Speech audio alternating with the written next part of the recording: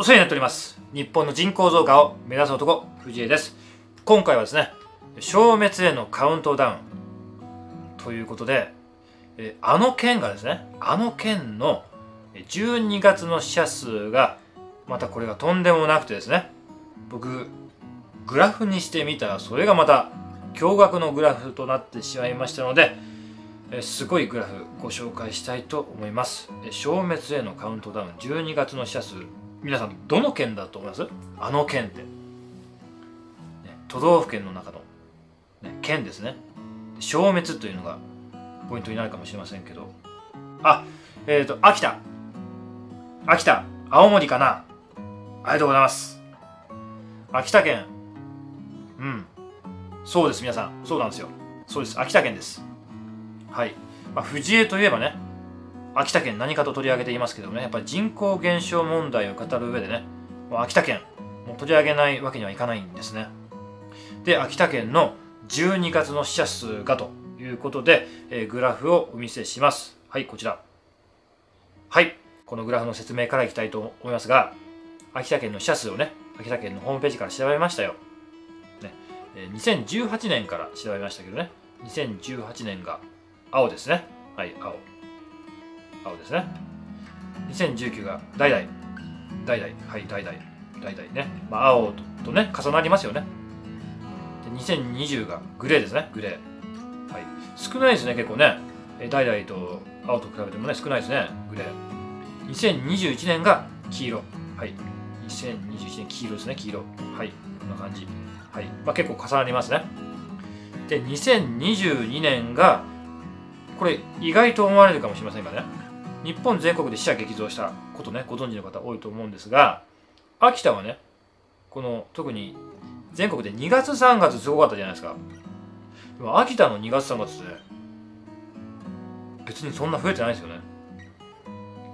ところが秋田県ね4567ときて8あたりからね全4年と比べてかなり多い月がね891011と続いているというね。2月3月がねなぜか秋田県そんなに増えていない。まあ本来ねいいことではあるんですが。というのがあってまあお気づきの通り皆さんね僕12月の死者数と言ったのにはい11月で止めています。さて問題です皆さん。秋田県の12月の死者数何人でしょうか。僕がですねとんでもない死者数になったっていうのがね一つのヒントではありますが皆さんお答えいただけますでしょうか？12月の秋田の死者数どれくらいになると思いますか？17002000ぐらいいってそう枠外1800超える1700とか2000とか1650はい1750 1800、1800、1750、1800、1800とか1750多いですね。1800。はい。お風呂に入っていました。ああどうぞ大丈夫ですよ。はい。2200、1900、1850。いや、皆さん、すごい近いですね。皆さんの平均取ったらもう当たりそうですね。えー、こちらです。はい。はい、どうぞ。こんなグラフができました。まさにね、このグラフの画面をね、突き破ってしまいそうなぐらい、まあ、1796だったんですけどねほぼ1800ですよこんなグラフになってしまいました。おかしいですよね。で数字で見てみましょう。秋田県の12月の死者数ですね。はい、えー、2018年が、えー、1369次の年が1401ちょっと増えましたね。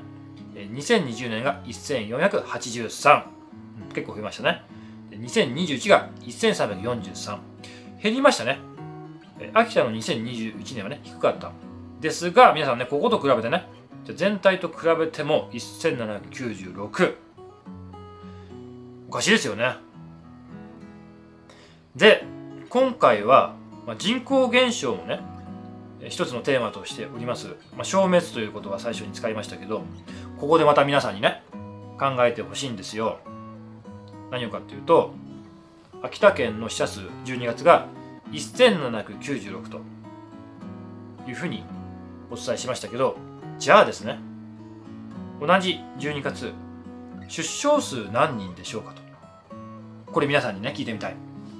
まあ消滅みたいなね言葉を私が使うぐらいだからね少ないんだろうなと、まあ、当然死者数よりね少ないんだろうなと。はい。まあ一つねじゃあ参考までにということでお伝えしておきますけどはいこちらね。こちらは11月ですけどね、全国の11月厚生労働省が人口動態のね統計を出しております、その中で、まあ、死亡と出生のね割合を日本全体ではどうなっているのかというね割合を皆さんにねちょっと見ていただいてからね考えていただければと思うんですけど出生が、6万5700人ですね、はい、で死亡が13万4000人ぐらいですよ。ということで出生のね倍超えるぐらいですね。死亡している。これが日本の現状ですね。これ自体もすごいことだなってね思いますけどね。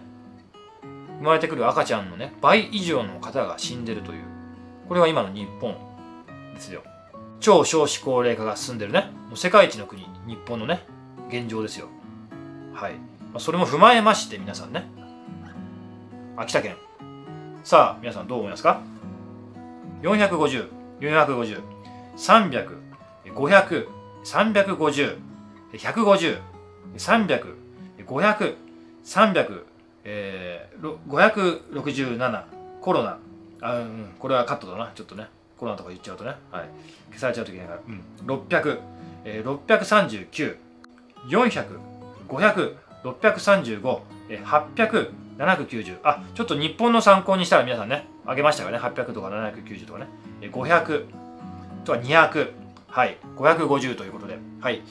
えー、正解にかなりね近い方もいらっしゃいますがってことは皆さんこれ見たらびっくりしますね。今の予想を見てるとね。はい。こちらです。やばくないですか？これ僕がねこれ消滅という言葉使っても別にね煽るわけじゃないの分かりますよねこれでね。これがね日本で一番少子高齢化が進んでる人口減少が進んでる秋田県の現状です。そしてねまあ秋田のことだから関係ないと思ってたら日本がねこういう状況になるのもね放っておいたら時間の問題ですからね。というわけでですね。これは本当にみんなでねもう日本人みんなで考えないといけない問題ではないかというね。まこういう問題提起が僕したくてね日本の人口増加を目指す男。そんなことをね、えー、名乗っている次第でございます。そして、えー、秋田県のね12月の死者数。